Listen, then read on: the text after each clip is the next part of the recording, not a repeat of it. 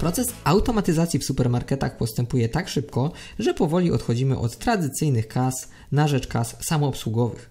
Kiedy są dobrze zaprojektowane, mogą poprawić wrażenia klientów, ponieważ klienci szybciej kasują towary i opuszczają sklep bez czekania. Gdy są źle zaprojektowane, mogą być frustrujące, co ma negatywny wpływ na wrażenia klientów. Badanie przeprowadzone wśród ankietowanych, link do badania otrzymasz w komentarzu, pokazało, że 64% przebadanych osób stwierdziło, że nie lubi kas samoobsługowych, ponieważ powodują zbyt wiele przeszkód. Ja w tym tutorialu, właściwie w tym, w tej krótkim, w tym krótkim przeglądzie, yy, pokażę Ci te przeszkody. Język. Większość kas ma sporo do nadrobienia, jeśli chodzi o język, w jakim przekazuje komunikaty. Z pewnością są w tyle, jeśli chodzi o pisanie prostym językiem. Interfejsy nadal brzmią jak roboty. Częsty komunikat, który możesz usłyszeć, jeśli chodzi o kasy samoobsługowe, brzmi w celu sfinalizowania transakcji użyj klawiatury PIN-pad. Serio, ktoś tak mówi takim językiem? Przecież można powiedzieć to bardziej po ludzku, na przykład użyj terminalu i zapłać za zakupy. Wprowadź kartę i potwierdź płatność. Idziemy dalej. Szybkość działania.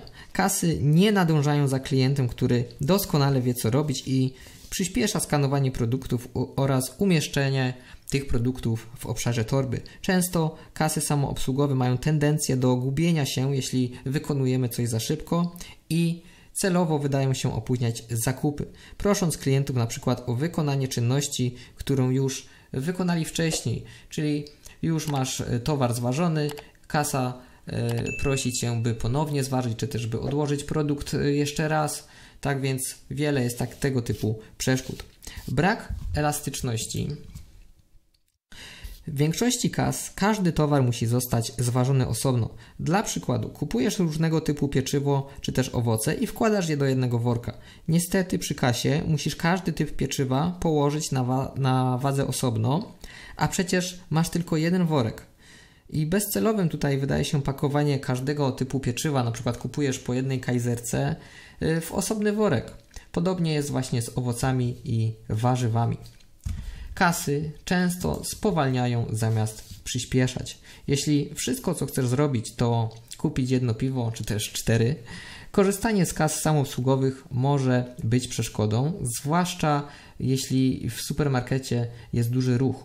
Kasy nie mają możliwości sprawdzenia ani potwierdzenia dowodu tożsamości.